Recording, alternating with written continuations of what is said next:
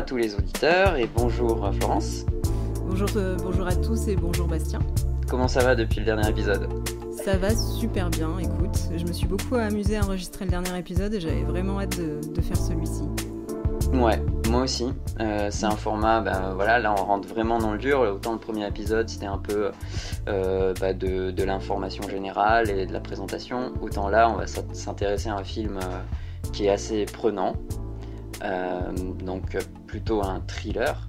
Mm. Et euh, bah, l'idée, c'est un peu de partager avec les auditeurs euh, bah, ce qu'est un thriller et ce que les lecteurs d'un thriller s'attendent à trouver dans une histoire pour permettre aux auteurs qui nous écoutent et qui sont plutôt dans la catégorie thriller et polar, et d'ailleurs on verra la différence entre les deux, bah, de, de, mieux structurer leur histoire. Donc de quel film on va parler aujourd'hui, Bastien? Memories of Murder. Oh là là, cet accent anglais. yeah, tu maîtrises. Surtout qu'il n'a pas de. Enfin, je crois pas qu'il ait de traduction euh, française. Je crois qu'ils ont gardé le nom euh, Memories of Murder en, français. Mm, c'est ça. Euh, la version française, on l'a trouvée. Et d'ailleurs, on en proposera des extraits tout au long du podcast. Mm. Pour euh, bon voilà après euh, on va spoiler le film hein, clairement ah oui ouais ouais enfin le but c'est enfin c'est un film qui reste assez culte euh, pour pas mal de personnes donc il y a peut-être des gens qui l'ont déjà vu et pour ceux qui l'auraient pas vu et qui auraient envie de le voir après l'épisode c'est faisable vu que le, le, film en tant que tel en gros, est basé sur des faits réels. Donc, quelque part, c'est un peu spoilé d'avance une fois qu'on connaît. fois qu'on connaît de quoi, de quoi parle l'histoire. C'est vrai, c'est vrai. bon, ben, les faits réels, justement, donc euh, qu'est-ce que c'est qu'est-ce que c'est que l'histoire de, de, cette affaire et de ce, de ce film? Alors, tout à fait. Donc, euh, Memories of Murder est un film de Bong Joon-ho, qui est également le réalisateur de Parasite, qui a beaucoup, un film qui a beaucoup fait parler de lui euh, récemment. Euh, et euh, l'histoire s'appuie sur des faits réels qui se sont passés en Corée du Sud entre 1986 et 1991 dans la ville de Hwasong. Donc dans la ville de Hwasong, euh, il y avait une série de, meurtres qui a été commis par, par un homme qui n'a jamais été retrouvé. Donc neuf femmes ont été assassinées. En fait, à l'époque, on en avait compté dix, mais la, la dixième euh, le dixième meurtre a en fait été commis par un imitateur qui a été arrêté depuis. Donc, neuf femmes âgées de 14 à 71 ans ont été assassinées dans la ville de Hwasong en Corée du Sud. Ça se situe à 60 km au sud de Séoul. Elles ont toutes été violées, puis bâillonnées et ligotées avec leurs propres vêtements, des vêtements qui avaient également servi à les tuer. Et, euh, et cette histoire a profondément marqué le pays. Et donc le film en est très largement inspiré. Ouais, effectivement, euh, la Corée du Sud, du coup, c'est ça, hein, on est en Corée du Sud. Ça. Mm. Et euh, bah, quand tu as parlé d'imitateur, moi, c'est vrai que j'ai pensé pendant le film. Pendant le film, je suis... enfin, c'est le genre d'affaire, tu vois, où tu te dis c'est tellement pensé et c'est tellement euh, semblable, en fait, comme, comme meurtre et comme façon de faire, euh, que la presse en parle et tout. Et euh, maintenant, on est un petit peu habitué avec tous les thrillers qu'on peut voir à la télé et tout. Et euh, instinctivement, je me suis dit, est-ce qu'il va y avoir justement ce phénomène d'imitateur dans le film où ils vont partir sur une mauvaise piste, etc. machin? bon, non, c'est le cas, pas vraiment du coup. Mais en tout cas, je ne suis pas étonné qu'effectivement, dans la vraie vie, il y ait un imitateur. Après, ils sont pas tous aussi bons et du coup, bah, lui, il s'est fait choper. C'est ça. c'est ça. Ah, j'en dirais plus euh, sur ce fameux tueur à la fin. Est-ce qu'on l'a retrouvé? Est-ce qu'il court toujours? Ah mais pour l'instant, on va. Ouais, ouais. J'ai ah des petites choses, j'ai des choses à dire. et pour l'instant, ouais, on va parler, on va se concentrer sur le film. Ouais, voilà. bon, bah justement, voyons un peu euh, quelle est l'intrigue de ce film. Donc, clairement, on va, on va un petit peu spoiler, mais l'idée, c'est de juste ben, euh, s'inspirer des bases du storytelling où il y a un gros méchant, où il y a, euh, bon voilà, on peut pas tout dire dans, dans, un seul épisode, mais déjà, là on va pouvoir voir que dans un storytelling, quand on raconte une histoire, il y a des hauts et des bas. en tout cas, c'est ça que j'ai essayé de mettre en avant dans la façon de raconter le film. Donc forcément, on va spoiler un peu, on va pas non plus raconter tout le film. Et puis on essaiera de ponctuer ça avec quelques extraits euh, si possible. Euh, donc le début du film, euh, c'est clair, c'est un meurtre direct. donc il n'y a pas de, il y a vraiment, il n'y a, pas d'introduction. il y a un meurtre, donc on voit bah, un premier flic qui est le héros de notre histoire, qui est le premier héros de notre histoire. il arrive sur la scène et le plus choquant, c'est qu'on voit des enfants jouer avec euh, les vêtements de la victime, enfin voilà, en tout cas des preuves euh, du meurtre. Donc euh, il arrive sur les lieux et déjà il y a des gosses qui jouent avec les, les preuves, donc on se dit ah c'est pas gagné cette affaire. Et tout de suite on enchaîne très vite sur un deuxième meurtre. Et là, c'est pareil, des journalistes, des gens partout, donc du coup qui piétinent la scène de crime, même si il reste quand même assez éloigné du corps. Hein. On voit qu'il piétine la scène du crime. Euh, l'inspecteur, du coup, donc, qui est notre héros de l'histoire, qui, qui dit à tout le monde de se pousser. C'est très dynamique la façon dont c'est réalisé. Et là, euh, moi, je trouve une scène merveilleuse où il y a carrément un tracteur qui passe.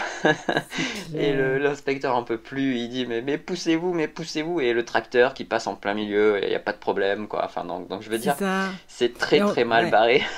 c'est clair. mais c'est horrible ce, tracteur parce qu'en fait, il y avait euh, une trace de pas euh, pile à cet endroit-là, donc une preuve, et le tracteur passe dessus et efface complètement la preuve, quoi. Ouais, carrément, carrément.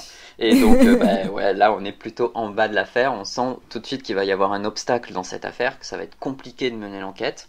Mais il détecte un premier suspect. ce premier suspect, je sais pas si on aura l'occasion euh, d'en reparler, mais entre ce, second meurtre euh, et, la voix de ce premier suspect, euh, il y a une scène que j'ai adoré, enfin quand ils sont, en fait, on en parlera après de la façon dont les personnages sont construits. Mais je trouve que enfin, ils, arrivent, le réalisateur arrive à nous faire vivre la vie des personnages sans aucune scène narrative. C'est-à-dire que tout au long du film, euh, on suit des dialogues. Tout passe par les dialogues, mais bon, on en parlera tout à l'heure. Donc en fait, il y a un premier suspect. Je vais essayer de me concentrer sur l'histoire. Donc il y a un premier suspect, c'est un gars qui est un peu limité, euh, malheureusement. Donc ils essayent de l'interroger et ils y vont de manière un, peu forte euh, pour lui sortir les verres du nez parce qu'ils s'aperçoivent quand même qu'il décrit super bien la scène du deuxième meurtre. Et ensuite, il y a le deuxième héros qui débarque dans l'histoire. C'est un inspecteur qui vient de Séoul, donc qui vient de la capitale, et qui débarque dans bah, cet endroit un peu paumé de la Corée du Sud. Euh, puis après, ils ont euh, une nouvelle preuve. Euh, c'est une semelle de basket qui incrimine toujours le premier suspect. Donc ils, font, ils font vraiment le forcing sur le premier suspect. Ils pensent vraiment tenir leur tueur. Voilà, donc ils insistent. Tu vois, je pense pas que tu avais l'intention de tuer Yang Suk dès le départ, hein? Non, Je pense plutôt que tu avais juste envie de lui toucher les nichons. Je suis hein? pas arrivé. C'est pour ça que tu l'as tué Pour pouvoir lui toucher la poitrine J'ai pas fait ça. Bien. Euh, écoute, le monsieur qui est là-haut, c'est comme toi, ça n'a pas toujours été rigolo. Il a eu une enfance difficile. C'est quelqu'un de très gentil, il peut même être très affectueux. Mais comme c'est quelqu'un d'impatient, il lui arrive de perdre son sang-froid. Et parfois, il frappe même les suspects. Hein, c'est malheureux. Euh, surtout que, bah, en fait, il décrit euh, vraiment la scène de crime, il décrit le, crime bah, de manière très exacte. Euh, le problème, c'est qu'à ce moment-là, dans le film, on ne sait pas s'il décrit la scène de manière très exacte parce que les inspecteurs lui ont tellement euh, rabâché comment ça s'était passé euh, que si vraiment il l'a vu ou même s'il l'a vécu. Et bon, on sent quand même tout de suite que c'est pas le coupable. Donc, il y a des doutes qui s'installent pour notre second inspecteur, hein, le second héros de l'histoire, et ces doutes sont confirmés après par une reconstitution. Hein, donc euh, ils, ils, essayent de faire une reconstitution euh, avec euh, leur premier suspect et cette reconstitution tourne mal. Et là on entre vraiment dans la scission des deux héros où il y en a un qui pense qu'il est coupable et l'autre qui est convaincu qu'il ne l'est absolument pas. Et donc tout au long de ce film, il y a aussi bah, l'histoire de ces deux flics qui vont devoir travailler ensemble qui n'ont pas les mêmes méthodes euh, pour interroger les suspects ou même pour euh, mener l'enquête.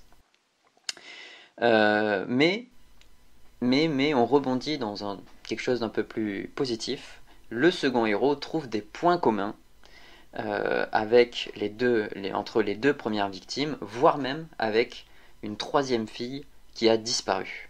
Tu te souviens? Chef, je suis sûr qu'elle n'a pas simplement disparu. Si vous regardez bien son dossier, ça peut expliquer des tas de choses. Les documents ne mentent jamais. Le jour de sa disparition, Doko Young-soon portait une chemise rouge. Vous voyez, c'est écrit là, noir sur blanc. C'est quoi ça? Hein? Regardez, c'est les archives que m'a envoyé la météo. J'ai entouré les jours où il y a eu un crime. Et le soir en question, il a plu aussi. La pluie, les vêtements rouges? Je suis certain. C'est le même type qui a tué cette fille. Non, arrête tes conneries, t'y connais rien. Et euh, ça, ça fait un peu rebondir notre affaire, ça donne du souffle à l'affaire, ça donne du souffle à l'enquête, euh, surtout quand ils se mettent à chercher la fille disparue et qu'ils la retrouvent morte, hein, et qu'ils la retrouvent morte de la même manière. Et là, on part clairement sur euh, trois meurtres, et donc euh, un serial killer en fait, un- euh, des meurtres en série. Euh, mais bah, ça ne fonctionne toujours pas entre euh, nos héros, encore ils s'engueulent, encore ils sont pas euh, d'accord, encore euh, l'enquête piétine, mais ils essaient à la fin de traquer, de traquer donc le, de traquer le gars et de lui tendre un piège. Donc là, on a un petit peu, on va dire, un regain d'espoir. On pense qu'on va l'attraper, bon, mais malheureusement, ça ne fonctionne pas. Euh, Il y a un quatrième meurtre cette nuit-là en plus. Donc ils sont vraiment au bout du bout parce qu'ils étaient prêts à l'attraper et finalement ben, non seulement il, leur a échappé mais en plus il a eu le temps de, de, tuer quelqu'un d'autre. Euh, puis ensuite ils découvrent un nouvel élément de l'enquête, euh, c'est une musique. Ils s'aperçoivent que à chaque fois, c'est d'ailleurs une policière qui s'aperçoit qu'à chaque nuit de meurtre, il y a une musique qui passe à la radio, c'est toujours la même et elle est demandée toujours par le même gars. Euh, le problème, c'est que la radio n'est pas capable de donner le nom de ce gars parce qu'ils sont débordés, parce qu'ils n'ont pas, euh, pas mémorisé euh, le nom ni la carte postale, puisqu'apparemment ils euh, demandent à passer le titre par, via la carte postale, sauf que la carte postale, elle est, une fois qu'elle est passée, elle est jetée et ils n'arrivent plus à la retrouver. Donc, à nouveau, ils attendent une nuit où il pleut, où toutes les circonstances sont réunies euh, avec la musique qui passe, et à nouveau, ils essaient de euh, piéger euh, le meurtrier, et ils attrapent quelqu'un. Ils attrapent quelqu'un qui était en train de se masturber sur euh, des vêtements euh, qu'ils avaient posés là pour euh, tendre un piège. Euh, mais bon, euh, bah, malheureusement, ils s'aperçoivent très vite que c'est juste un type qui aimait bien euh, se masturber et, et qui est parti en courant parce qu'il s'est dit euh, mince, euh, il y a des gars, enfin en fait c'est des flics, mais bon, peut-être qu'ils vont me tabasser, peut-être qu'ils vont me tuer, donc euh, bref, il y a une énorme course-poursuite dans le film. Mais il l'attrape et bah, euh, en fait, bah, c'est pas lui.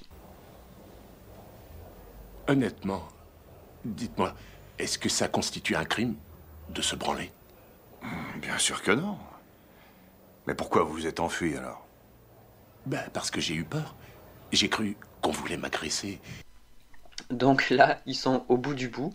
Euh, ils ont tout essayé, ils n'ont plus aucun indice. Chaque fois qu'ils font une traque, ça ne marche pas. Donc on voit bien qu'ils piétinent. Et on est au moment de l'aventure où ils sont vraiment bah, au fond, quoi. Au fond. Euh, et euh, il va même euh, suivre des rumeurs qui ne sont que des rumeurs. Donc euh, vraiment, ils, essaient d'exploiter des pistes qui n'en sont pas en fait, tellement ils sont à bout de, bout d'indices. Et là, rebondissement, euh, rebondissement, il y a une victime encore en vie bah, qui, vient raconter son histoire. Et notamment, elle, permet de faire avancer l'enquête car elle donne un nouvel indice, c'est qu'il a les mains douces. Bon, jusque-là, euh, on va pas faire tous les gars qui ont les mains douces.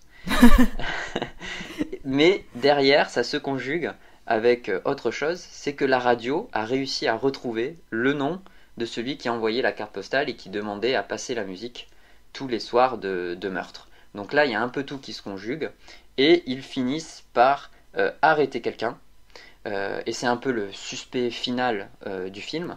Il l'arrête, il a effectivement les mains douces, et il a un comportement, en tout cas dans le film, qui peut paraître suspect, en tout cas très calme. Très calme, il dit même à un moment donné, vous ne mourrez jamais, il leur dit clairement euh, dans le film. Donc bon voilà, on suppose quand même fortement que c'est lui, mais en fait ils n'ont rien à charge contre lui, ils ne trouvent rien, ils n'avouent pas bien évidemment, et donc ils le laissent partir, mais ils le mettent sous surveillance. Et euh, donc bah, il est suivi, seulement un jour, un soir, il échappe à leur vigilance. donc ils savent pas où il est. Et comme par hasard, ce soir-là, il pleut. Comme par hasard, ce soir-là, la musique passe à la radio. Hmm. et comme par hasard, ce soir-là, ce soir-là, il y a encore un meurtre. C'est le dernier meurtre du film. Et euh, là, on voit clairement que euh, le, second euh, policier, hein, qui est arrivé en second dans l'aventure, pète un câble, retrouve le gars et bah, a envie tout simplement de le tabasser et de le tuer. Seulement, en fait, ils attendent une analyse ADN parce qu'effectivement, ils ont retrouvé juste avant un peu de sperme sur les vêtements de la victime et ils attendent les analyses ADN qui viennent des États-Unis, puisqu'à l'époque en Corée du Sud, ils n'ont pas les compétences pour faire l'analyse ADN eux-mêmes. Et cette analyse ADN arrive à ce moment-là dans le film, hein, un moment assez tragique finalement pour l'histoire, tragique pour personnellement pour le héros, en fait, qui pète un câble et euh, voilà, qui est à bout, à, bout de souffle, qui est à court euh, d'idées pour euh, coincer le tueur. Et en même temps, on arrive aussi au bout de euh, l'aventure euh, de nos deux policiers, puisque à ce moment-là de l'histoire, euh, ils sont très unis, contrairement à, tout, à tout, tout, le reste du film. Et donc les analyses ADN arrivent et en fait, bah, elles ne permettent pas de vérifier ou de, de valider ou d'invalider finalement le suspect. Donc bah, le suspect est relâché et mais puis c'est tout en fait. c'est comme ça que se termine le film. Et euh, il y a euh, une scène euh, finale, donc je sais pas combien c'est, c'est peut-être 10, ans après ou 20, ans après, je sais, je sais Ça se passe en 2003, donc ouais, c'est ouais, assez longtemps après. D'accord, donc il y a un mm. petit bout, il y a un petit temps qui est passé, où bah, là, effectivement, on, voit que notre premier, notre premier flic, hein, notre premier héros a changé de travail il est devenu, euh, je dirais, plutôt commercial. Enfin, on devine qu'il est un peu commercial. Euh, donc il a changé de vie parce qu'effectivement, j'en ai pas parlé, mais on va en parler. Euh, on sent bien que son métier de flic bah, lui pourrit la vie, hein, en fait, hein, tout simplement. Il est à fond dedans tout le temps. Et donc là, voilà, à la fin de cette histoire, il finit par changer de métier, mais il revient sur les lieux du crime. Il revient sur les lieux du crime au passage parce qu'il traînait par là. Il s'arrête, il rencontre une petite fille euh, qui lui dit euh, Tiens, c'est bizarre, euh, vous êtes le deuxième homme à, regarder dans ce caniveau. Il lui dit Comment ça, je suis le deuxième homme? Oui, il y a un homme qui est venu pour se rappeler de ce qu'il avait fait. Donc, voilà, donc on comprend que le meurtrier est revenu sur les lieux du crime. Et moi, je trouve qu'il a, enfin, il y a ce moment poignant dans le film où il lui demande si, bah, si elle a vu sa tête. Et elle lui dit oui, oui, j'ai vu sa tête. Et alors, alors, elle est comment sa tête? Bah, il, a une tête ordinaire, quoi. Une tête. Et là, il lui pose la question une tête ordinaire comment et, ça m'a fait rire parce que le film finit vraiment en mode mais en gros il n'y a pas de solution. Enfin voilà je, en fait c'est juste un type ordinaire il est je, je, peux pas le reconnaître en fait c'est foutu je sais qu'il est passé par là euh, il n'y a pas longtemps en plus mais voilà clairement je peux pas le reconnaître je peux pas l'identifier et, puis, puis c'est fini quoi. Et donc il y a cette scène finale où, l'acteur se tourne vers la caméra et où il, effectivement il brise le quatrième mur et il regarde vraiment euh, les spectateurs en fait. Et ça. finit comme ça. Et, oui. et du coup, bah, c'est plutôt une, une, bonne analyse. Je vois que tu as, vraiment euh, regardé scrupuleusement le film. J'en déduis que tu, tu l'as aimé. Globalement. Bah, bah euh, en fait, j'ai aimé son il est lent quand même. Enfin, c'est pas qu'il est lent. Au début, je l'ai trouvé lent. Mais en fait, euh, après, quand t'es dedans, euh, il l'est pas, quoi. Ce que j'ai aimé, par contre, c'est que t'es vraiment direct dans l'histoire. Il n'y a, y a pas de contexte. Le contexte, il est, il est apporté au fur et à mesure de l'histoire. Comme euh, il y a deux scènes dans le film, à peine, il y a deux scènes dans le film où, effectivement, il y a l'alarme générale de, de, la ville, enfin du pays, en fait, euh, qui s'allume. Euh, on entend euh, ceci n'est pas un exercice. Veuillez débrancher tous vos appareils électriques, éteindre toutes les lumières. Enfin, tu sens qu'il y a un contexte de guerre, de guerre civile en fait, sur fond de cette enquête-là, et donc qui complique, qui complique l'enquête. Et on sent aussi la vie. Enfin, les personnages sont quand même pas mal développé, mais jamais de manière euh, racontée quoi. C'est vraiment, il montre en fait, il montre des scènes de la vie quotidienne. J'en parlais euh, au début. Euh, enfin, on est, on est, on est dans l'enquête, c'est dès le début du film, c'est le deuxième meurtre, on est dans l'enquête, on, est, on est avec le, flic, on est là, et puis, pouf, d'un coup, on passe sur une scène, bah, une, scène de cul, hein, clairement. donc on voit la, dame qui est sa femme en fait, qui est sur lui, et, et, il lui sort un truc. Enfin moi je, ah, il lui sort un truc. mais t'es dedans là? C'est ça. et il lui dit bah ce serait peut-être mieux si t'étais dedans. Enfin tu vois, un truc comme ça. Genre tu te dis waouh, mais ça sort d'où ça? Et, et pouf. Et de suite après, tu rebascules encore dans l'enquête euh, et tu vois, c'est, je trouvais que c'était bien fait parce que en, fait, ça te fait ça, te fait comprendre ça te fait sentir que le mec euh, il est tout le temps dedans en fait. Enfin il est euh, l'enquête ça, ça, lui prend toute sa vie en fait. Ça, lui prend la tête toute sa vie. Et d'ailleurs celle qui lui donne la voix du premier suspect c'est sa femme qui lui raconte que le, gosse là-bas a entendu machin qui raconte enfin donc c'est elle qui lui donne quelque part un indice supplémentaire pour progresser dans l'enquête. Et d'ailleurs on ne fait que ça dans le film c'est euh, on progresse d'indice euh, après indice. Il n'y a qu'un seul fil rouge. Il n'y a pas 50 euh, 000 histoires dépeintes au début qui se regroupent à la fin du film. C'est vraiment, on a une pelote et on tire la pelote pendant tout le film et on suit ces deux héros tout le temps. Ils apparaissent quasiment dans toutes les scènes du film, ils apparaissent tout au long du film. Et moi j'aime bien, j'aime bien ce genre de film où effectivement bah, tu suis, même que ce soit en bouquin, tu vois, tu, tu, tu, suis un seul héros, quoi, quelque part, tu vois, et tu, et tu suis sa vie vraiment pas à pas et t'évolues avec lui. Moi, j'aime bien ce genre de, ce genre de, voilà, de, de, concept. Mais je sais pas si toi, t'as aimé ce film? Euh, Moi, oui. Enfin, je, je, sais que la première fois que je l'avais vu, que je l'ai vu, il m'a, il m'avait beaucoup marqué. Euh, je dois dire que quand j'ai vu la première fois, j'étais pas au courant que c'était tiré de, de faits réels. Donc, euh, donc je m'attendais à complètement autre chose à la fin. mais, euh, mais ce que j'aime beaucoup dans, dans le cinéma coréen en général, puis dans celui-là en particulier, c'est que oui, ça va être un thriller. Mais, euh, mais comme tu l'as montré, il y a autre chose. on va, on va s'attarder sur, sur les personnages qui mènent l'enquête et essayer, sans chercher à trop les montrer, à les développer quand même. Et il y a, il y, a cette, euh, il y a cette dose d'humour aussi. Enfin, c'est bizarre de dire humour dans un thriller, mais il y a qu'en Corée où je peux me permettre de dire, de, de pleurer devant un film de zombies, de, de rire devant un thriller. ou de... ils, ont un mélange. Euh, ils sont très sensibles à différents types d'émotions et ils savent les, bien les doser et les mélanger, je trouve, dans, dans leurs films. Et même dans les films les plus sombres, il y a, il y a des choses qui peuvent être très belles ou très drôles ou très tristes. Et, euh, et c'est ce que j'aime ressentir. Donc ouais, moi, ça m'avait euh, beaucoup accroché malgré une fin où, où j'étais ressortie en me disant mais, mais quoi? Mais je comprends rien Et après j'ai vu et j'ai fait ah d'accord. c'est normal. Effectivement. Mais ouais. Euh, il y a. Enfin.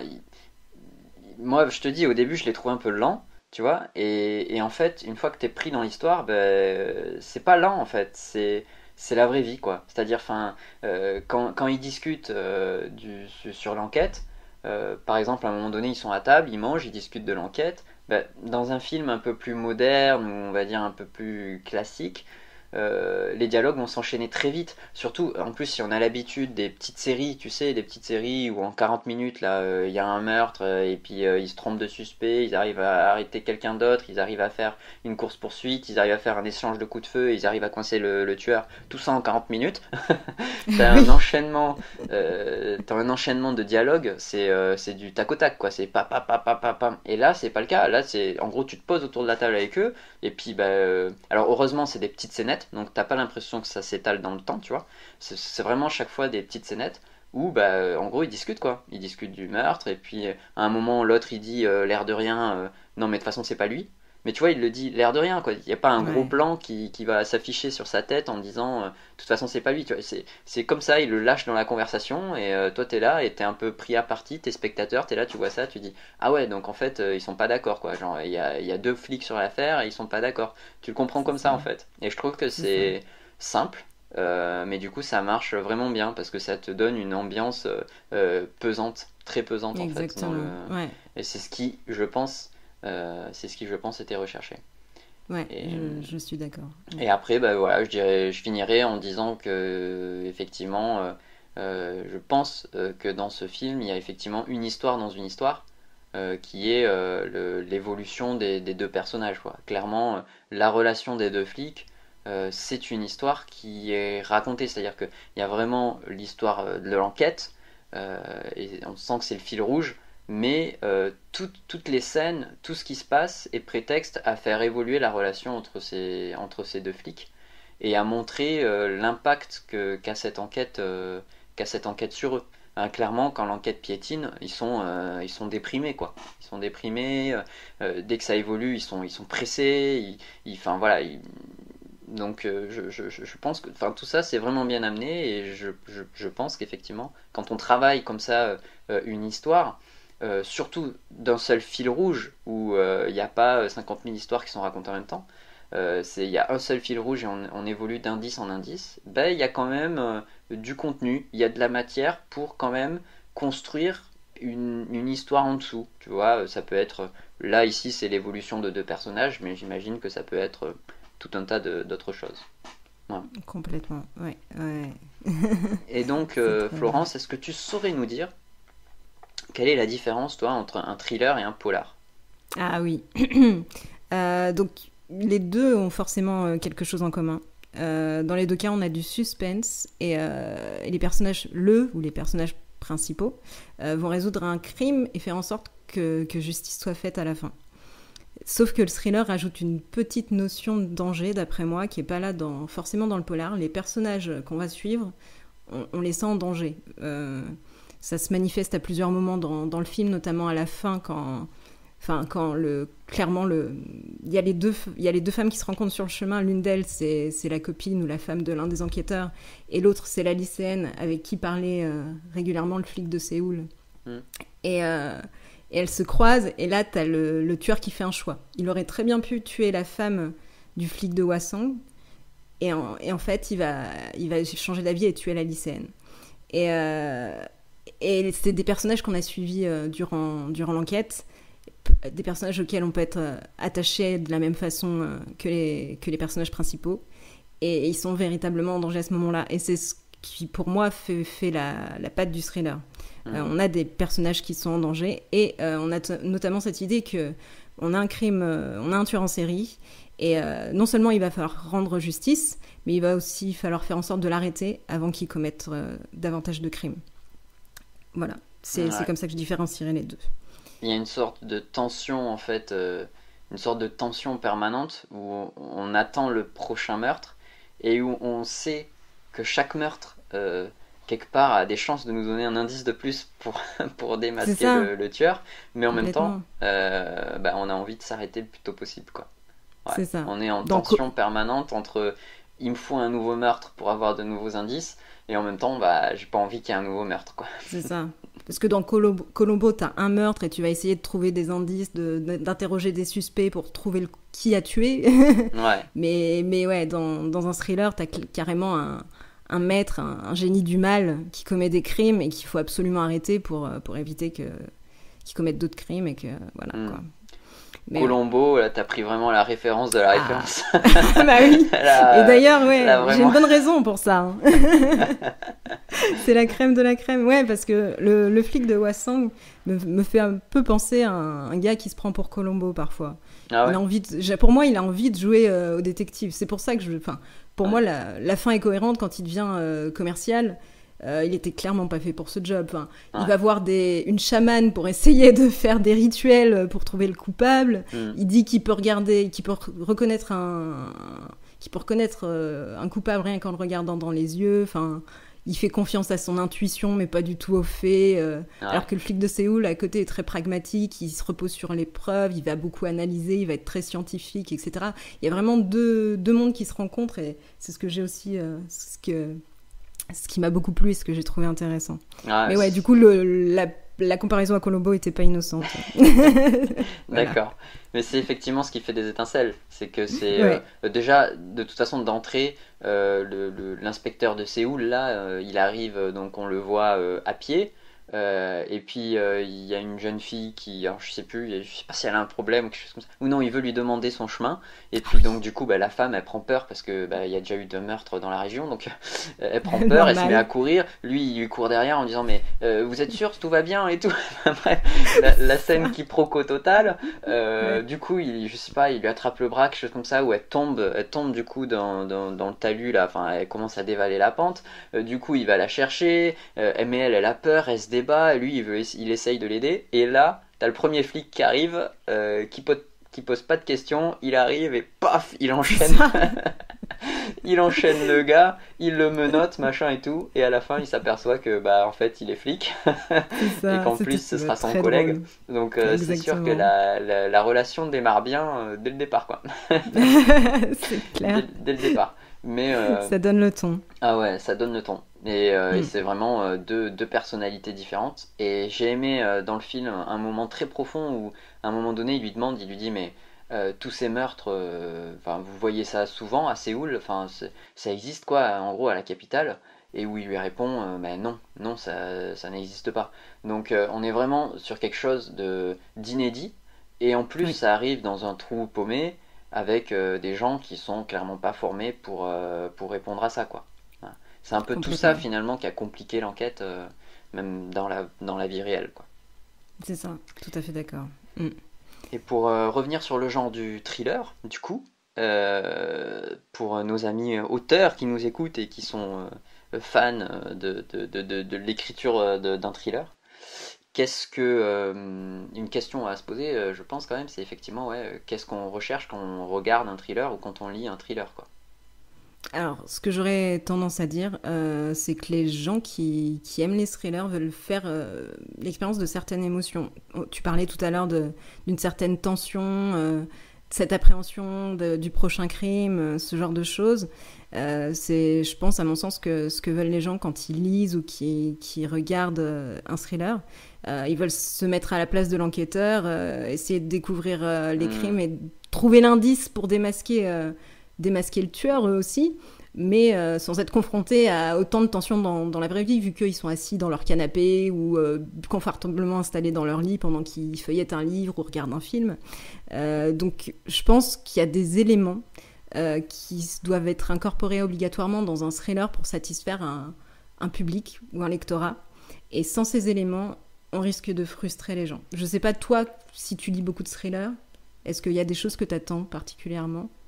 Euh, je lis pas beaucoup de thrillers parce que j'aime pas le genre. Si t'en regardes, ah ok, ça te fait peur. Euh, après, euh, regarder, ça, peut m'arriver, ouais, de, du coup de les regarder, mais je sais que ce que je vais, ce que je vais après, enfin ce que je vais chercher quand je vais cliquer vraiment en me disant bon allez je mets play et, et, je regarde, c'est vraiment d'être tenu en suspense et en haleine en fait, ce sentiment tu sais d'être d'être en haleine et de me dire euh, mais on est bloqué. Ah mais non en fait non on n'est pas bloqué. Ah, mais on est rebloqué. Ah mais non en fait non on n'est pas rebloqué. Et je sais pas en fait c'est euh, c'est quelque chose pourtant qui bah, qui ouais qui enfin, c'est ce qu'on recherche. Je sais pas pourquoi on le recherche. Ça, c'est comme euh, voilà, les gens qui sont fans de films d'horreur, euh, ils, voilà, ils aiment avoir peur. Ben, quand on regarde un, thriller, je pense que c'est ça dont on a, dont on, dont on a envie, quoi. C'est d'être un peu. Euh, bon, on a envie qu'il y ait des crimes, hein, clairement, parce que sinon c'est pas très Carrément. Mais en même temps, on n'a pas envie que le personnage principal y arrive du premier coup. C'est vraiment pas ce serait trop facile. Ouais, exactement. On veut le voir un peu galérer. Mm, mm. je suis d'accord avec ça.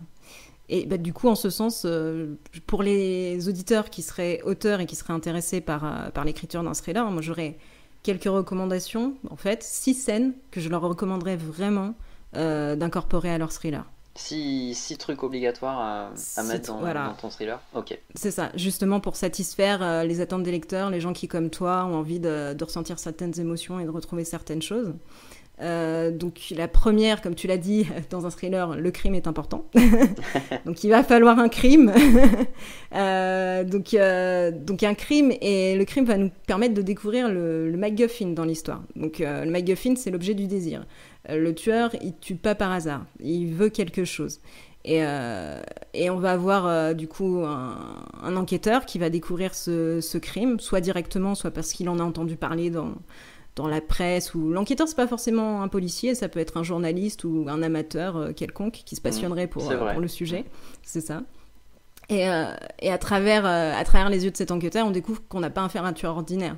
Il y a quelque chose qui transparaît comme là dans dans Memories of Murder, les victimes, euh, bah, elles sont ligotées d'une façon assez particulière, elles sont tuées d'une façon un peu spéciale, puis, euh, puis oui, on, se demande euh, ce que veut le tueur, forcément, en faisant ce, genre de choses. C'est, Quel, est le... Quel est son objectif?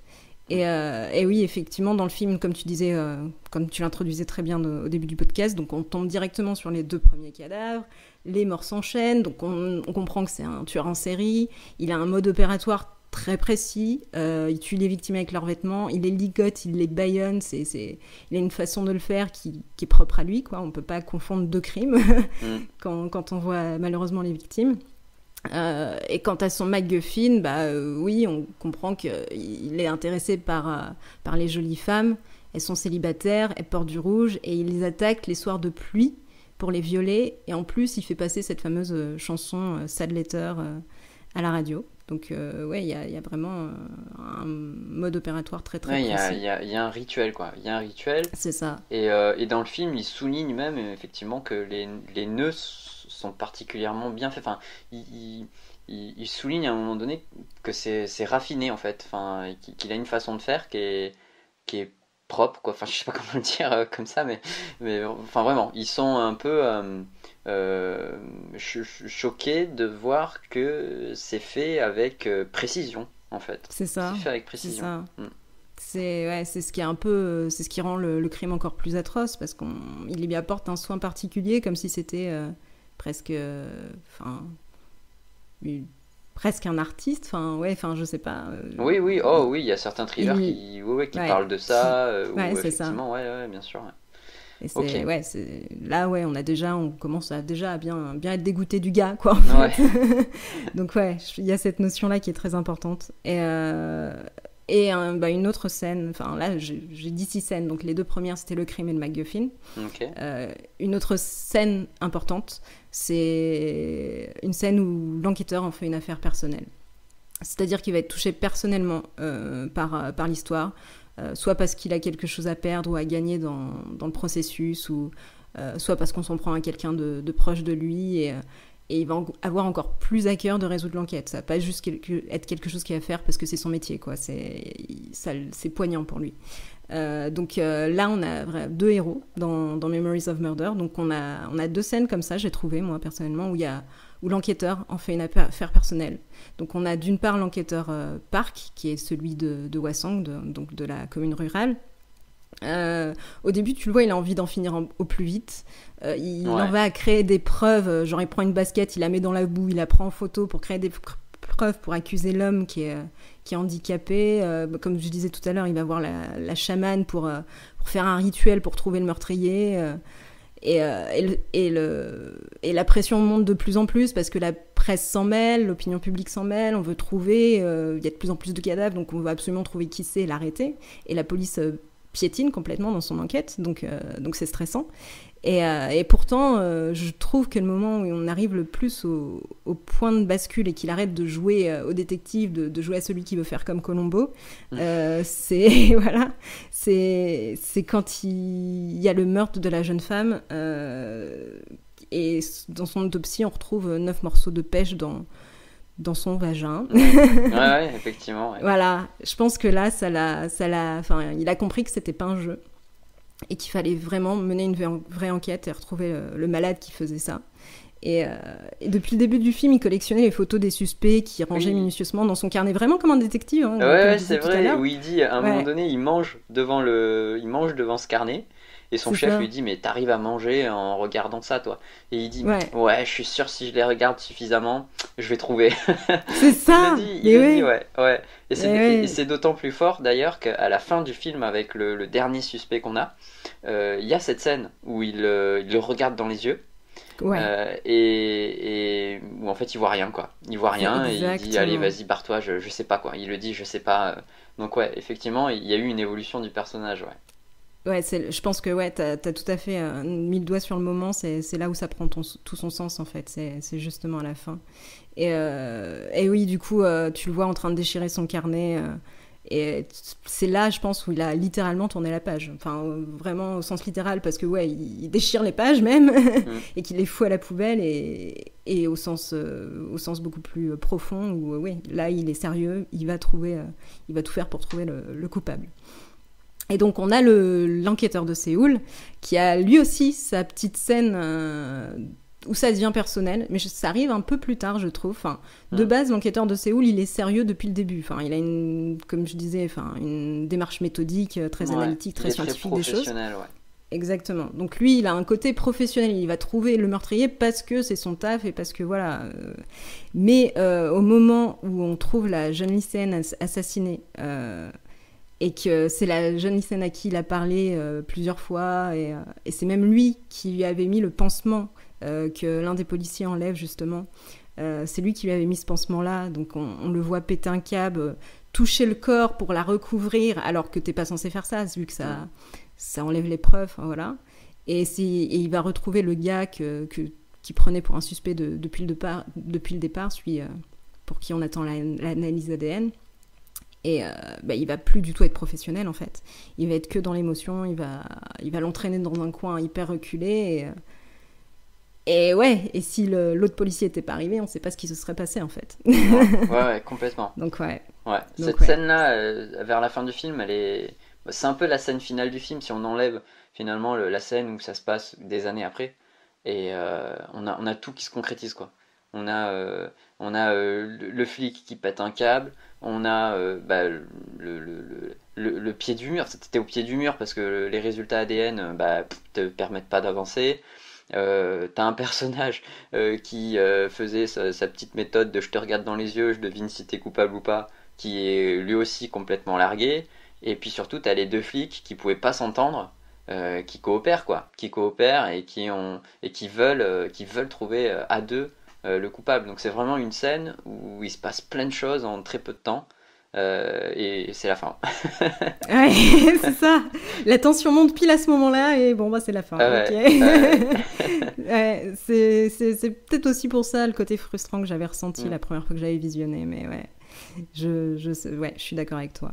Et donc, euh, quatrième scène que, que je propose d'avoir absolument quand on écrit un, un thriller, euh, c'est d'avoir forcément une scène où le héros découvre ou comprend quelque chose qui lui permet de se rapprocher du tueur. Donc pendant tout, tout le roman, ou que vous écriviez un roman, ou je sais pas, peut-être que le scénario d'un film, euh, donc pendant toute l'histoire, on va être en train de, chercher des preuves, d'essayer de démasquer, enfin, démasquer le criminel. Et enfin, on a ce moment où euh, on a l'élément décisif qui va nous emmener sur la bonne piste en fait. Hmm. Et dans le film, c'est le moment où, ouais, du coup, l'inspecteur de, Séoul euh, tombe sur, sur la victime rescapée dont tu parlais tout à l'heure. Et elle lui donne ce fameux indice, euh, ouais, le tueur a, les mains douces, euh, délicates comme celles d'une femme. Vous reconnaîtriez son visage? Comme je ne voulais pas le voir, je suis restée tout le temps la tête baissée. J'avais ma culotte qui me couvrait les yeux, mais je les ai quand même gardés fermés. Si je l'avais vu, il ne m'aurait pas laissé en vie. Il y a aussi une chose dont je me rappelle parfaitement. C'est ses mains qui couvraient ma bouche. Elles étaient très douces. Ses mains étaient aussi douces que les mains d'une femme.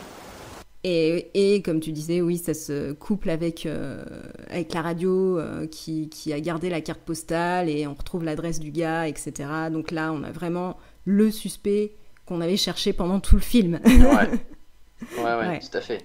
Et euh, on déboule chez lui, il est pas là. Heureusement, en fait, bah, une dame nous apprend qu'il travaille à l'usine, et là, ils foncent à l'usine.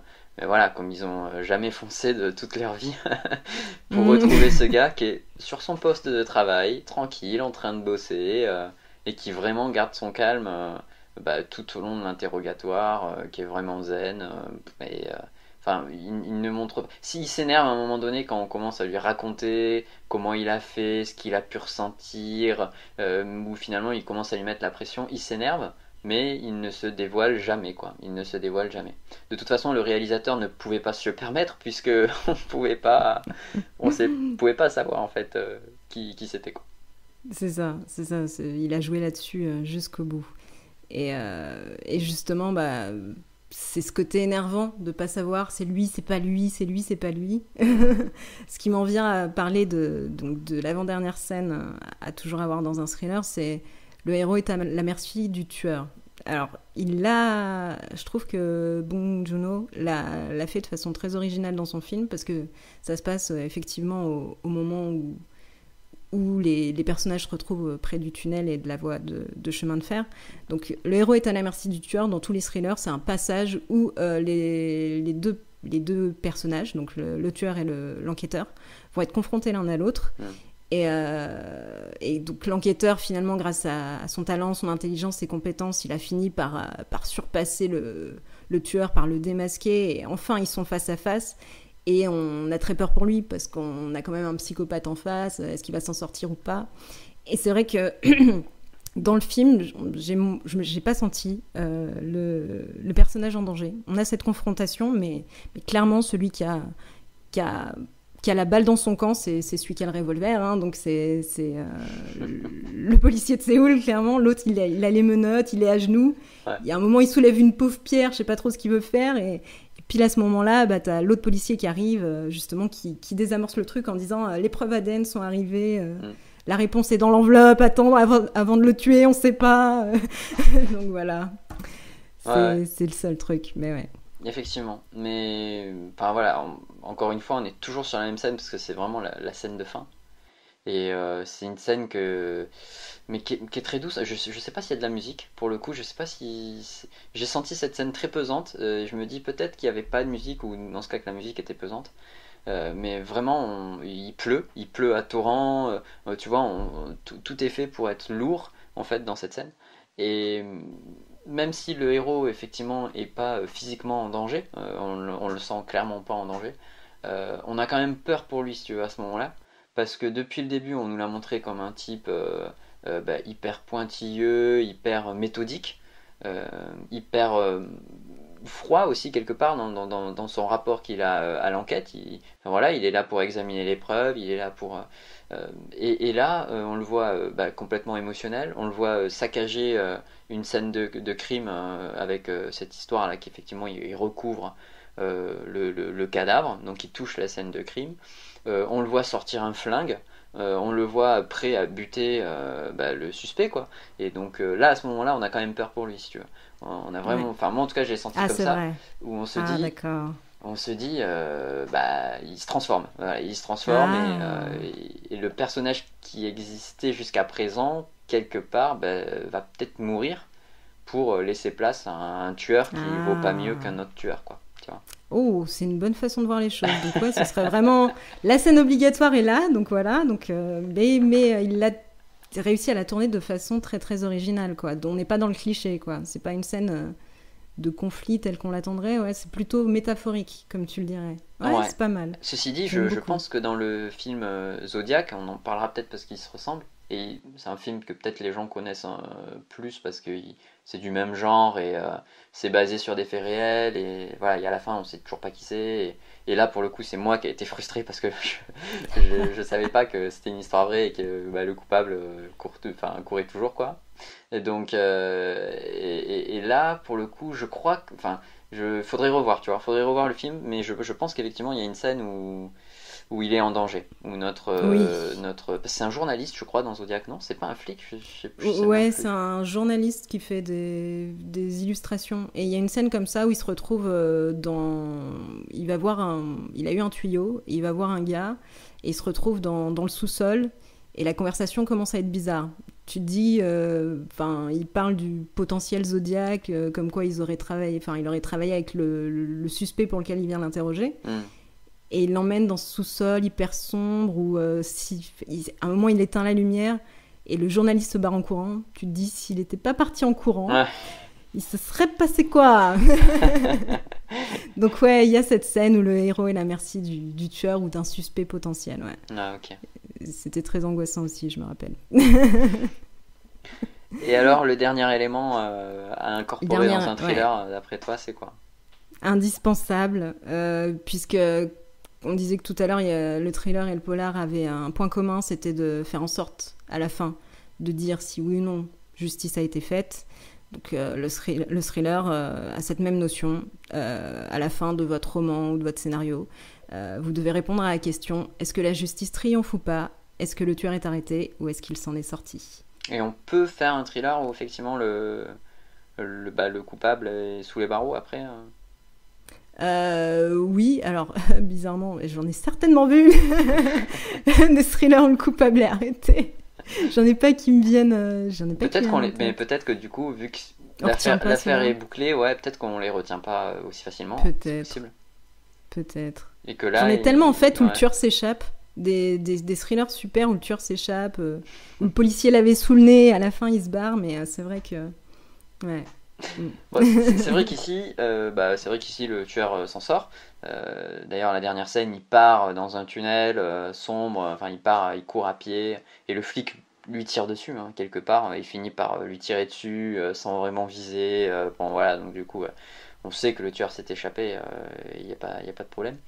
Et je pense qu'effectivement, c'est pour le réalisateur, sortir un film à ce moment-là où bah, dans la presse, on sait que sait qu'il n'y a pas de tueur, enfin que le tueur n'a pas été arrêté.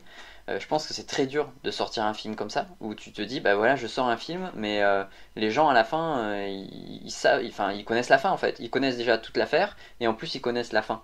Donc, certes, c'est pour le raconter à ceux qui ne le savent pas encore, mais même s'ils n'auront pas tous les rebondissements de l'affaire ou de ce qui a été dit dans la presse, parce que souvent, en fait, on se dit, tiens, dans la presse, j'avais lu ça, mais voyons ce que le film me propose, peut-être que je vais apprendre des choses nouvelles.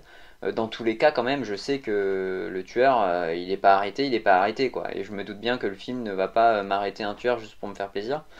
Euh, mais je, pense que un spectateur ou un lecteur attend un message quand même à la fin. parce que déjà qu'il y a la frustration de ne pas arrêter, je pense qu'on vient voir un, on vient voir un film si tu veux, on apprécie qu'il y ait un message. Euh, donc la plupart du temps, c'est vrai que dans les films, euh, si tu vas voir, je sais pas, si tu vas voir les, Avengers, euh, Iron Man et Captain America, c'est facile, tu vois. C'est les héros, ils ont gagné et les méchants, ils ont perdu. C'est, je veux dire, c'est un message clair, simple, c'est facile. mais là, ben, c'est pas le cas. Là, c'est vraiment pas le cas parce que c'est la vraie vie et que tout simplement le réalisateur décide de décrire une histoire vraie. Et donc, je pense quand même que le spectateur attend son message et il faut que, si tu veux, il faut qu'il y ait un sens. Parce qu'il ne faut pas que le spectateur sorte en se disant, euh, bah, finalement, j'ai perdu mon temps. quoi. Euh, finalement, ok, le tueur n'a pas été trouvé, mais à part ça, euh, si on m'a rien dit d'autre, si on m'a pas délivré un message, bah, finalement, cette histoire, ça servait à rien de la raconter. quoi. Tu vois?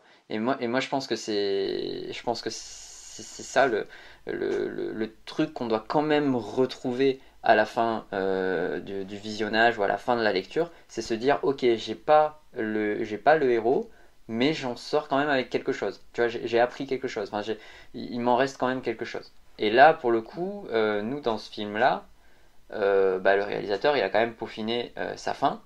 la fin après après les pendant les après sa reconversion professionnelle là, pendant quelques années après.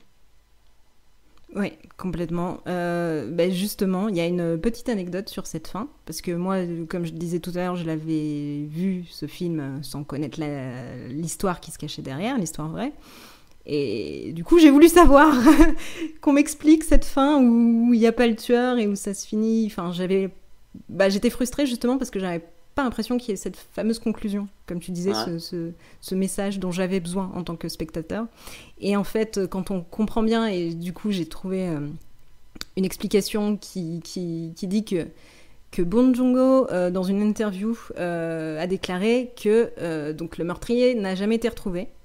Et donc à la fin, on n'arrête pas le coupable, certes, mais le détective brise le quatrième mur, comme tu l'avais bien dit euh, au tout début du podcast. Il brise le quatrième mur et, regarde directement la caméra.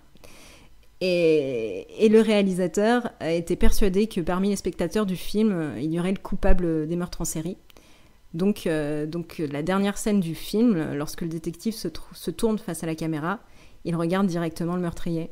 Donc, quelque part, on a bien le meurtrier à la fin du film. Il se cache juste parmi nous. Dans la salle, quoi. Ah, c'est vraiment voilà, horrible. C'est l'un d'entre nous, en fait. c'est l'un d'entre nous. C'est une, ouais, une fin. Ah ouais, ouais, ouais, ouais c'est une fin. C'est flippant.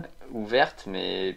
Ouais. Ouais, flippante. Ouais. Mais il y a un sens, mais il y a le fameux sens dont on a besoin. Ouais. Et euh, ouais, ouais. Ouais, c'est ça. Ouais, ouais, c'est complètement ça. euh, Et euh, il y, a, euh, y a, je mettrai peut-être un, un, un ex- l'extrait du, du film où euh, juste avant, euh, quand justement euh, il, il découvre les résultats ADN qui sont pas probants, il, il le chope, il chope le suspect à la gorge et il le regarde dans les yeux pour, pour savoir la sa, sa fameuse technique où il essaie de deviner.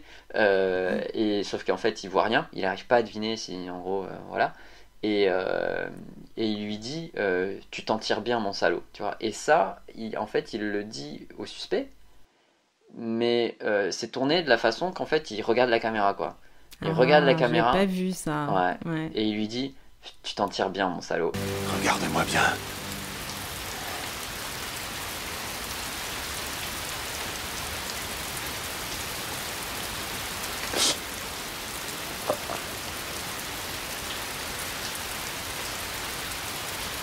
Je sais pas, putain.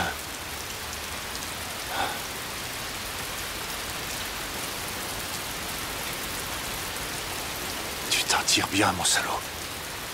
Et, euh, et là, pour le coup, on, on a vraiment l'impression qu'il nous parle. C'est On a vraiment ça. l'impression qu'il nous parle. Euh, et du coup, ça, enfin, ouais, ça, ça, ça colle complètement avec ce que, ce que tu disais euh, sur le fait qu'il brise le quatrième mur et qu'il et qu'il parle au tueur, quoi, qui est peut-être dans la salle, quoi. Et je pense que si Ouais. effectivement le, le tueur a vu le film et, et, et quand il a vu ce, enfin, ce, ce visage, quoi, qui lui dit bah, Tu t'en tires bien, mon salaud, tu vois, c'est- ça fait quelque chose, quoi. Ouais. ça Je fait pense. quelque chose. Ouais. Ouais. Ouais, en plus, ouais, c'est, il est directement visé, quoi. C'est waouh. C'est. Ouais. Je sais pas comment, enfin, s'il l'a vu, je sais pas comment il l'a ressenti, mais euh, quand on est un psychopathe pareil. euh, Bref. bon, d'ailleurs, oui, euh, je le garderai pour. euh, J'en parle pas tout de suite, mais ouais. J'en dis plus dans un instant au sujet de ce gars-là. Bah, mais, mais, mais allons-y, allons-y tout de Ah, suite. maintenant, je le dis Ouais, maintenant allons-y tout de Ok, suite. ok. Euh, on l'a promis, euh, bon, quand même qu'on le donne. Voilà. Alors j'avais quelques anecdotes. hein. Bon, je, je mets une petite anecdote avant de le dire directement. C'est que j'avais lu quelque part, mais j'ai pas retrouvé la référence. Mais euh, mais voilà. À chaque fois que le tueur apparaît dans le film, c'est un acteur différent, parce que justement le réalisateur voulait pas qu'on qu'on puisse identifier un, un coupable. Donc il a fait en sorte que, bah, comme c'est chaque fois un acteur différent, on peut pas se dire ah c'est tel personnage ou tel personnage. quoi. Ah ouais. Donc j'ai trouvé ça euh, pas mal. Oui, ouais, surtout qu'on surtout qu'on ouais. les voit pas. Enfin, on les, À un moment, on, les, on devine des silhouettes, on voit une main, ça, et à un moment, on le voit jaillir. euh, on le voit jaillir fossé. des branches là, à un moment donné. Ouais. Ouais. de- de- euh, ouais. ok, mais c'est vrai qu'après on, ouais, On le on le voit à peine, pas ouais, concrètement quoi, ouais. c'est ça. Et, euh, et du coup, le fameux tueur a été retrouvé Ah, Euh, ok. ouais. De nos jours là, de nos jours. en 2019. En 2019, Ah ouais, euh, ils ont retrouvé un gars qui s'appelle Lee Chun-jae. Et il est actuellement emprisonné pour le viol et le meurtre de sa belle-sœur, qu'il a tué en 1994, il me semble. Et, euh, il a avoué être euh, l'homme qui avait commis euh, les meurtres en série à Hwasong. Et on a testé son ADN, et l'ADN correspond à 4 scènes de crime. Donc, donc, il... donc c'est bien lui. 4 des scènes de crime sur, sur 9, ouais, Sur neuf, effectivement, on ouais. peut se dire que. Donc, voilà. Mais de toute façon, il les a avoués. Mais, Ouais. mais le gars, il peut avouer ce qu'il veut. Le délai de prescription, c'est 25 ans. Les 25 ans sont dépassés. Il sera pas jugé pour, Ouais, il sera pour pas ses jugé pour crimes. ça. Putain, ça c'est vraiment Ouais. horrible quoi. Ça fout les boules. hein. Ouais, Mm. ça fout Ouais. les boules. Ça...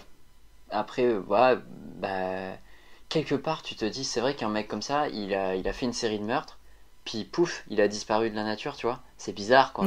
Donc tu te dis, euh, soit il est parti ailleurs, il a recommencé ailleurs, Euh, soit, euh, je peux, à moins qu'il y ait quelque chose qui ait changé dans sa vie, du coup, c'est possible. Bah, là, les meurtres sont arrêtés en 1993, il, a, il, a, il est parti en prison en 1994, donc euh, il est toujours en prison pour le même crime, donc ça a dû être ça qui lui a empêché de Voilà, ouais, c'est ça. Soit, en fait, il est déjà en tôle et. ouais, du coup, vu comme ça, c'est plus compliqué, ouais. Ouais, d'accord. Ah ouais, bah ouais, des fois, faut pas chercher midi à 14h, quoi. Euh, c'est ça, mais bon. Bah, au moins, il est en prison, c'est déjà, c'est déjà ça.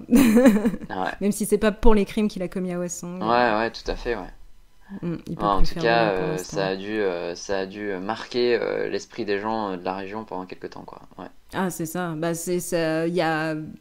Le film a été...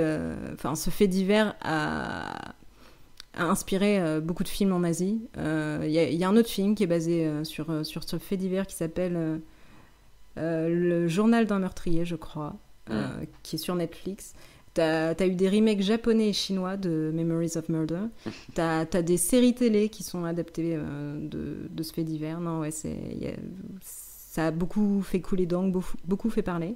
notamment le fait que, enfin, il s'en serait, enfin, peut-être qu'ils auraient pu l'arrêter si, euh, si la police était mieux organisée. Enfin, t'as des destructions de preuves, ça part dans tous les sens.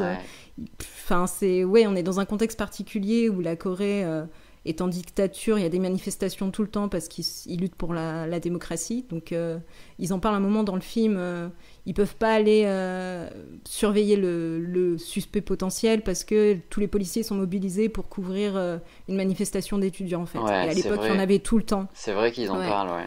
Et c'est vrai, ouais. ouais, Et là, tu te dis, bah ouais, en fait, quand tu mènes une enquête comme ça, bah le monde s'arrête pas, quoi. C'est ça. Et il y a tout le reste autour à gérer aussi, quoi. C'est ça, c'est ça, c'est ça. Et le côté frustrant, bah, je l'ai lu dans un article du Parisien, cette fois-ci j'ai la référence, c'est que ce, ce, gars avait été arrêté par une autre euh, brigade de police et euh, les policiers de Ouessant n'ont jamais pu euh, l'interroger pour les, les crimes des, des, femmes, les meurtres en série, bah, parce que tout simplement ils voulaient pas. ah putain, ouais. Donc l'absence de collaboration a complètement entravé l'enquête.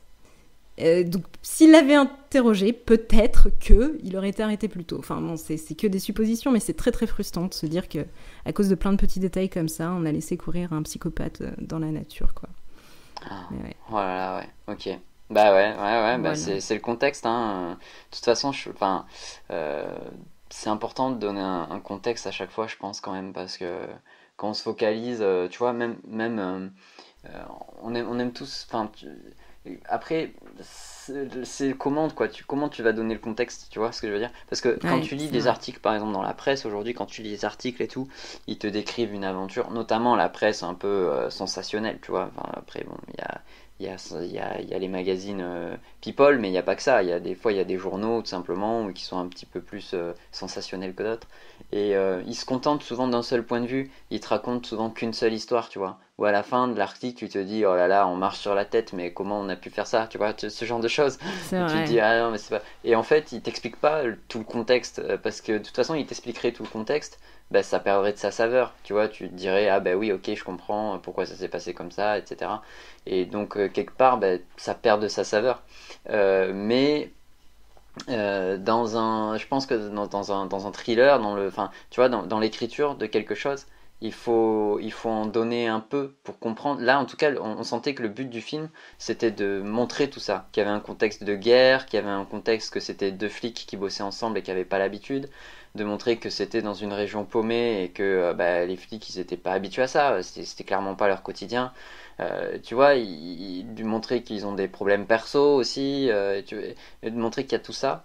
quelque part, ça permet d'expliquer que bah, voilà, l'enquête, euh, elle a piétiné, et, bah, c'est parce qu'il y avait tout ça aussi à gérer. quoi. C'est ça, hmm. c'est ça. Mais comme tu dis, le film explique, il culpabilise personne. C'est Les choses étaient comme ça, et puis voilà, c'est tout. On peut pas revenir en arrière, malheureusement, mais voilà, c'est ça s'explique par ce, ça, plus ça, plus ça, plus ça, effectivement.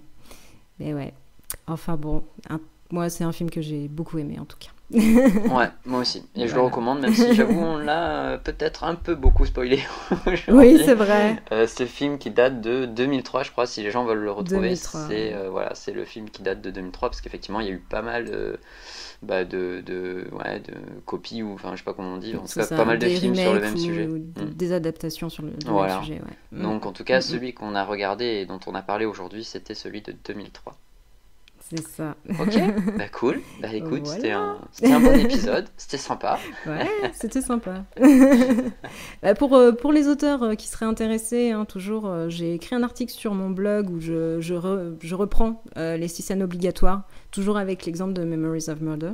Et comme ça, c'est vous avez un, un, appui visuel si vous voulez vous en servir dans l'écriture de, de votre histoire. Ok, cool. Donc c'est sur ton site euh, florence-georgeon.com. Euh, Florence-georgeon.com. Je mets le lien en description si vous voulez euh, aller voir. Cool. Bah super. Bah, merci. Et puis... Merci également. Bah, hein. Et puis, merci de nous avoir écoutés. Ouais, exactement. Euh, n'hésitez pas à vous abonner si bah, vous voulez euh, d'autres, d'autres astuces. Euh, et puis partager bah, d'autres bons moments avec nous autour de la rédaction de diverses choses. On ne parlera pas que de thriller, effectivement. On parlera un peu de tout. et d'ailleurs, j'ai même hâte de parler, de faire le, oh le prochain épisode qui parlera de Camelot. Voilà. Yes. Ah, on va s'éclater autour de Camelot. Moi, je suis allé ah. voir l'avant-première. Hein. Perso, j'avais mon, j'avais mon t-shirt. Donc, ma femme avait, avait un t-shirt avec marqué "On en a gros" dessus. Ah, excellent. Et moi, j'avais un t-shirt marqué "C'est pas faux". ah, trop Et on est allé à l'avant-première euh, pour voir le, pour voir le film. Ouais, ouais voir le ah, film, premier volet. Et là, elle a acheté la, elle a acheté la bande son, elle a acheté tu sais, le, le, disque, les CD de la ah, bande son. La musique, ah, génial. Elle est magnifique la musique de Camelot. On est un peu fan. ah oui, bah oui, bah pareil. donc on va bien s'éclater pour le prochain ah, épisode. donc on va bien s'éclater pour le prochain. ok, cool. Bon bah écoute, bah, j'ai hâte de te retrouver pour le prochain épisode. Bah moi aussi, pareil. Et puis j'ai hâte de retrouver euh, nos auditeurs. Hein. Mm. N'hésitez pas à réagir. Euh, sur, euh, sur le podcast, euh, s'il y a des espaces de commentaires, je sais qu'il est disponible sur Spotify, Podcast Addict, euh, d'autres plateformes. J'ai aussi un compte, on n'a pas encore créé de, réseau pour le podcast, ça viendra peut-être un jour, mais bon, j'ai un compte Instagram où j'en parle, Groovin Flow. je pourrais potentiellement le mettre en description aussi. Si vous voulez nous donner votre avis, sur, nous dire ce que vous avez pensé de l'épisode, c'est aussi important qu'on puisse réagir à, et interagir avec vous. Ouais, grave. On a vraiment besoin bah, d'aide là pour le coup. Effectivement, ça, de vos retours. Faut ouais, des retours, euh, partager, commenter, enfin voilà quoi, pour, euh, bah, pour qu'on puisse euh, mieux viser, mieux voilà, s'améliorer. Mm. Bah, merci beaucoup. Merci, à la à plus tard, ciao. À quoi il ressemblait? Il avait un visage ordinaire? Ordinaire comment?